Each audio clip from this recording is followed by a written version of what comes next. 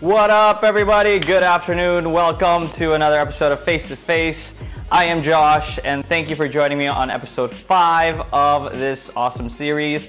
Today is titled Foreigners in Indonesia. So, for those of you that know me, you know that I spent a lot of my youth growing up in a, another country. I grew up in America, and I spent about 16, 17 years there. Originally, I was born in Jakarta, but then I came back to Indonesia about five years ago now. It's been six, nope, I don't know the math, 2013. Seven years now. So it's been seven years I've been back to my home country. I've been in this country for seven years now, but I feel like this is not like, because I grew up so much with American culture and then my parents still tried to keep the Indonesian culture. So it was always a mix. It was always actually very interesting because when I was in America, I spent a lot of times with friends that were not Indonesians. We went out for pizza and burgers. And then when I came home, the my parents were like, "Here, eat some rice," and then for breakfast, eat some rice. And I, I didn't know what to do with that. I, I didn't like rice, and so I grew to not like rice because then I came back here to Indonesia, and everything is rice. You start the day with rice. In the middle of the day, it's rice. At the end of the day, it's rice. And so I struggled with that, but thankfully there's GrabFood and Gojek where you can order other things than rice. Um, but anyways, today's episode is about uh, my friends who are not from Indonesia. They're from other countries, and I want to just talk to them and let them just share their experience about how they've been doing this whole time. By the way, thank you all that have been logging in and joining in so far. We do this every Wednesday, just talking about random stuff.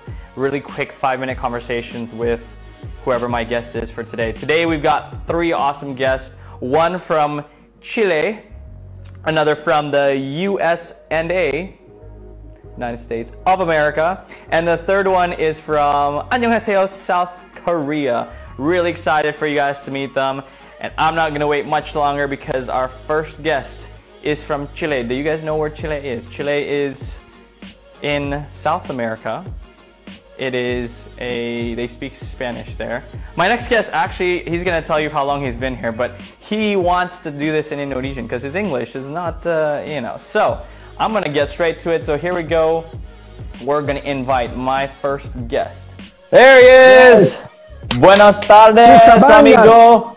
¿Cómo estás? Muy buenas tardes. Muy bien, ¿y tú?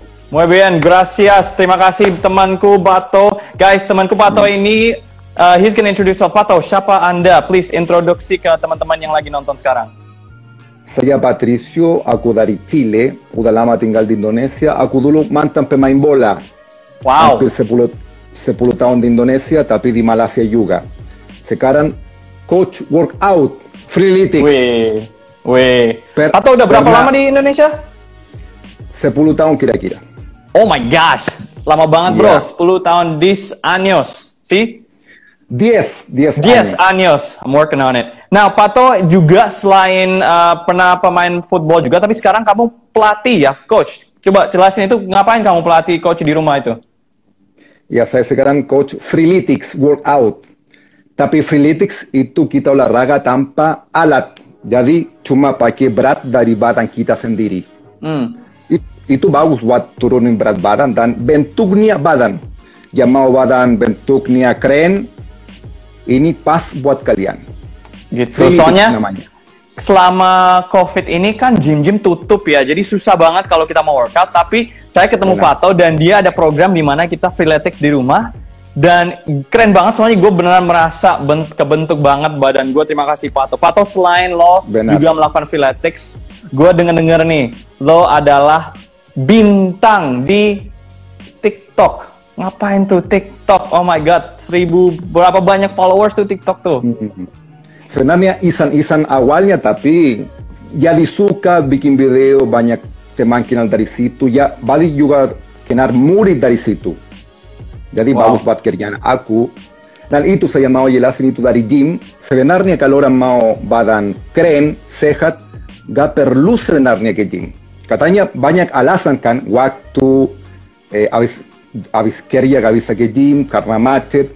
Itu kamu rasain sendiri. Selesai kerja, datang ke tempat kamu, Freeletics bisa di ruangan sendiri. Gak perlu ke gym, gak perlu hilang waktu. Datang dari kerja 15-20 menit cukup. Wow. Amazing banget. Benar Terima kan? kasih Pato. Kamu Pato terakhir kamu pertanyaan. itu kan? Ya, gue rasain banget bro. Oh my god, kita kerja, kita workout selama sejam itu udah keringetan banget parah. Tapi bener-bener lihat nih efeknya gue selama sebul, seti, seming, apa setahun di gym dan cuma seminggu sama Pato itu keren banget. Jadi kalau kalian mau uh, private training sama Pato, kalian kontak aja di @pato_patricio. Pato, karena topiknya Boleh. hari ini adalah me- foreigners in Indonesia. Lo boleh jelasin nggak Oke. selama 10 tahun di Indonesia baga- bagaimana nih uh, pengalamannya? How do you gimana rasanya di Indonesia nih? Lo tinggal di sini, do- lo dulunya dari Chile tapi sekarang di Indonesia. Gimana rasanya? Ya, awalnya sebenarnya saya tinggal di Medan. Sangat sangat kaget awal awalnya karena agama beda, bahasa beda, eh, seharian kalian beda kan dari dari makanan. Awalnya aku gak bisa makan sama sekali di sini. Kalau makan di sini terlalu pedas, kalau gak ke rumah sakit jadi harus makan McDonald's, Pizza Hut. Sekarang kamu tahu aku bisa makan apa ya sampai bakso juga bisa kan? Oh, come on. Dia kemarin Hmm? Iya, makan Tapi makan apa lagi? Makan soto lo, lo suka makan bakso juga apa lagi lo makannya sekarang?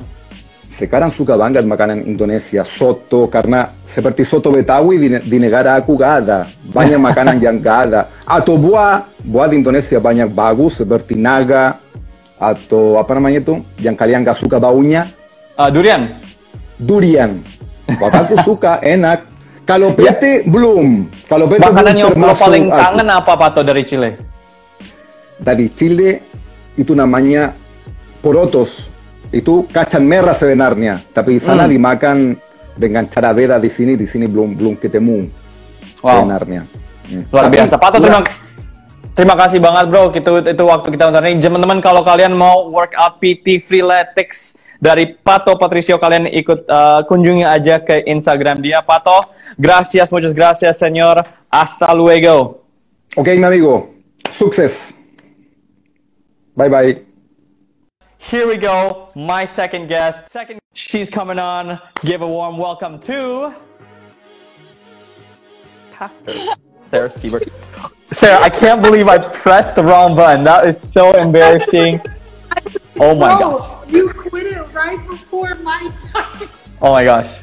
Yeah. So we're gonna keep going uh, with our second guest. Everybody, welcome Sarah Seibert. Sarah, give yourself an introduction to however many viewers we still have on this live broadcast. Who are you? Also, everybody tuning in, thank you for hanging tough with us. we out here. Um, yes, my name is Sarah Seibert. I'm from the great America. Um, it's on a struggle bus right now, but we love America. um, but anyways, yeah, I'm from America, living in Jakarta, and my name is Sarah Charlotte Seibert, and my social security number is just Not kidding. gonna say censored. Sarah Seibert, you have been so you obviously were born in America, grew up in America, but you are now here in Indonesia. How long have you been in this beautiful country of Indonesia? Oh my gosh, how long has it been, Josh? I feel like you and I met each other back in 2012. That's right. So I initially, I initially moved to Jakarta in 2012, and then I was here for four years. I taught at SPH, shout out to Sekolah Pelita. Hey. No promo, promo. um, and I taught there for four years, and then I left for about a year and a half. And then I actually came back to Indonesia, and I'm now working at the Collective Church. Ooh, so awesome. Now, Sarah, yes, it is a struggle bus right now in America, but I'm sure there's already still so many great things going on in there. After the eight years that you've been here, actually, side note, uh, you actually did a little tour in Africa. Tour? Is that what the word is? You Yeah, actually went to Africa for like a year. You even did this thing on your Instagram, 365 days in Africa. So every day for 365 days, she posted a photo from her adventures in Africa. So incredible. So you are a worldwide girl. Like, uh, uh, yeah, Mr. Worldwide. You're Mrs. Worldwide. Who's- But Sarah Seibert, You know, you Why? He's, he's Mr. Worldwide. I'm Mrs. Worldwide. You know what I'm saying? but like, why? Why are you so international? Like, you know, a lot of people in America, they're so comfortable. America's all good, but you're choosing to go all over the world. You've even got some plans. Your next journey is coming up pretty soon to another country. So, Sarah, why? What has been going on? What What made you all of a sudden go decide? Hey, I'm gonna see what's out there. I know. I feel like, yeah, that's a very good question. And I agree. I think a lot of people in America, it's hard to like pop the initial like bubble to like get out um, of like that comfortability. Um, but I think for me, Josh, what really like initially popped the bubble and like what made me international was my dad is actually a pastor. And so when I was younger, um, my first international trip was actually when I was 11 and we went on a family missions trip to Africa. And I think ever since then, there was like no going back, bro. I'm like, what? There's like all of this amazing, beautiful diversity, different cultures, different people around the world. And I needed it. I needed it to be in my life. Shout out to everybody on here. I love you all. I love it. Sarah, after you've been here for eight years in Indonesia, what is one of the top one thing? Just give me one of your favorite things about Indonesia. Oh my gosh, Josh, that's so hard. I love everything about Indonesia. Um, okay, can I can I say like right to my top three? I'm gonna do my top three. Top three, go. Top three. My first is the people. Indonesian people are amazing and the most friendliest people in the world. Shout out to all my Indos. Number two, martabak all day, every day in my mouth. so Martha, Josh, come on, the chocolate with the peanuts, bro. No, that is it is sin in a box. It is so sinful. It is so disgusting. It is. And your third thing is give me a tongue emoji if you're out there, people, and you love martabak like me. I know I have Mark people. No. So Mark is number two, and number three is how Indonesia in, in Southeast Asia, in Asia, it's so easy to travel to all the different countries. Like it's so cheap and easy and accessible so those are my top three. Well, boom. Hala Rupiah. All right, last question. America over there on the other side of the world. What is one slash two slash three slash however many you want to give thing you miss about America? Ooh, things I miss about America. To be honest, okay, let me say the three things. I'm just gonna go with the number three, people. I'm feeling it today. Three things I miss. First things first, the food. I know people are like, the food is delicious in Indonesia. I know it, but when you grow up in America with Taco Bell, chalupas in your mouth, it's hard. Ah, Taco Bell. So I just miss food. Taco Bell, Burger Burgerville, all those good things. Secondly, I miss my family. It is hard yep. to be away from Come on. My, my friends and my siblings. So I'd say my loved ones. And the third one would be not as crazy macet as Jakarta. I miss being able to drive without being stuck in traffic for five hours. That's for real. Come on, that's real. All right. Sarah, thank you so much for sharing with us about your journeys in Indonesia so far and where the world is taking you to next. I wish you all the best. Thank you, Sarah, yes. for joining today. I'm going to press the correct button today and not end this live stream. Take care. Stick on, people. Thanks, Josh. And for those of you that are just tuning in, earlier I pressed the wrong button and ended the live cast. So that was wrong. But we're to go on to our final guest. So we had our first guest, Pato from Chile. He's now been here for 10 years, I think he said. He's uh, freeletics instructor. He used to be professional football. And when I say professional football player, in this side of the world, we mean the one that you kick the ball with. Second, we had Sarah Seibert, who is from the Collective Church. She's a pastor. She's been traveling all around the world. She's here now, been here for the past eight years, going on to new adventures pretty soon. And finally, my good friend, I had to get him on here if he's here. There he is. Guys, hope this is one you guys will, if you haven't met him, you, ha- you guys have to meet him. Connecting, logging on. Hey! Annyeonghaseyo! How are you guys doing? Hello. Ian, how are you, bro? How you doing, doing Ian? Good. Ian, guys, is a good friend of mine from South Korea. He's got that South Korean face. Even he dresses like a South Korean man that you would see in those South Korean dramas. Ian, yeah, can I'm, you I'm please introduce yourself to work. our viewers? Hello, hi. I am I am a Korean boy, Ian Hyun-Ug Kim. Um, I, I, was raised in, I mean, I was born in South Korea, then moved to the U.S., studied there a bit, and then now I am in Indonesia and I heard his name. Guys, if you didn't catch that, Ian Hyun-Ug Kim. Yes, that's right. That's a real that's Korean right. name right there. Now, Ian, how can you just share? Uh, so today our topic is foreigners in Indonesia. How long have you been in this country? Um, I've been here a little bit less than two years. Yeah, not not like uh, Pato was here for ten years, and Sarah has been here what eight years. Yeah, I'm I'm I'm pretty new here. So two years. Tell that. me, Ian, how has your experience in Indonesia been for the past two years? It's been it's been great. I mean, I've had ups and downs because it's been it's been different in everything, like Pato said, in in culture, uh, religion, food, and everything. But I mean, thanks to thanks to my friends who were always kind of having my backs, you know, I, I was able to go through it easily.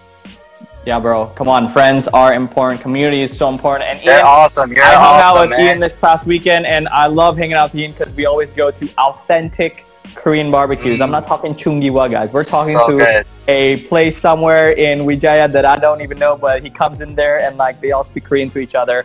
And he's oh my gosh! Oh wait, wait, wait, Ian, I, I'm I'm spoiling this. I'm spoiling this. But in our future episode, a future episode of this, you are actually a fantastic cook. By the way, ladies, get yourself a man that can cook. My goodness. Uh, speaking of ladies, Ian's wonderful wife is on here right now. Emmy, give a shout out, Emmy. They There's have been Emmy married here? and they are awesome. Ian and Emmy. Ian, uh, we're talking about you've been here for two years, bro, but you grew up in South Korea. Uh-huh. Can you tell me what is two or three things that you miss from South Korea? Mm. I guess I can say one of them is transportation. I mean, in Indonesia, you can now get the Grab, Gojek bike. You can go anywhere easily, but I'm more used to taking subways, taking buses. I mean, I'm not saying there are no subways or or um, buses in Indonesia, but I'm I'm more used to it. I know where I'm going. I don't I don't make any mistakes like going into a opposite direction, you know. Yeah. And uh, and I miss some street food. yeah. Yeah. I, I haven't tried any street food here in Jakarta, but man, I, I am I, like like you were saying, I am so into food. Um, Yeah. I make I sometimes make myself those street food because I miss them so much. Oh man, that's incredible, guys. He makes street food. Oh my gosh! so I went over to his house one time, and he made kimchi fried rice. Like you can't, you cannot. I don't think you can get that in any restaurant here. So delicious. We're actually gonna do a real face to face pretty soon, where he's gonna cook, and it's gonna be awesome. Ian, one last thing. Give mine. me your favorite thing so far about Indonesia, other than your wife, because that's a given. What is Oh, one man. thing that you like about Indonesia? I I mean there are so many but but one thing if I can say is is is the people. Like Yeah. Sarah was saying. Like people is number one. Like just um I was saying I had ups and downs, but whenever I had downs, there are so many people, like friends, who are always taking care of me and asking, like, Ian, what can I do for you? What, what do you need? And and with with those friends, I was able to go through those hard, tough time with my wife. And amen. Yeah, she says amen. Our friends are the best, literally. I can't find any better friends from anywhere. Wow, that's incredible. Ian, thank you so much, man. Really, really appreciate you sharing. Can you just leave us with something in Korean for all of our Korean friends? Can you give us a goodbye or a see you later in Korean? 아, 저를 해주신 여러분 다들 감사합니다. 곧 봐요. Uh, Hamida, 감사합니다. thank you so much, Ian. Thank all right, you. bro. See you soon. Thank you, bro. See you Kamsahamnida. And that, my friends, was my good friend Ian. Such a great guy. If you guys don't know him, follow him at I am at I am Ian. He's with his wife here, Emmy. Emmy's from the U.S. They're incredible. Love all my guests today. Pato from Chile. He's my. I feel like I'm gonna hire him to be my personal trainer soon. But during COVID, we did some home workouts, and honestly, I'm, I'm not actually. I don't think I'm going back to the gym, guys. I'm just gonna go work out and like do what he taught me. Really, really great freeletics uh, instructor. Also, viral TikTok star. I'm not even joking you. He is viral in TikTok. Has a crap ton of views for being a bule white guy, but speaking really, really good Indonesian. So that's Pato. Second, we had Sarah Sieber. really, really awesome. Sarah is from America and she's been here for about eight years now. She's now a pastor at the Collective Church. And also, she went to Africa for a bit, but she's gone international, as we said, Mrs. Worldwide. So you guys can check out at Sarah Seibs. And finally, we had Ian. Ian Kim is from South Korea. He's with his wife here, Emmy, and been here for the past two years. Really, really great guy, really amazing cook. And yes, I did spoil it for those that caught it in a future episode. We will be doing a cook with Ian. He's gonna cook. I'm just gonna eat because I mean that's what talk show is all about. I mean, I'll talk and he cooks and then I'll eat and I'll even talk some more and give you guys some. So if you're actually wanting to see that, leave it in the comments or send me a message, Josh, yes, I want to see Ian the cook. Or if you guys have any other ideas, or if you even want to be on the next episode of Face to Face, let me know. That is all the time that we have today. Thank you guys so much for tuning in. I am so sorry I pressed the end live button earlier. That was so terrible. But anyways, thanks for all the hearts. Thanks for logging in, and I hope to see you guys again sometime soon.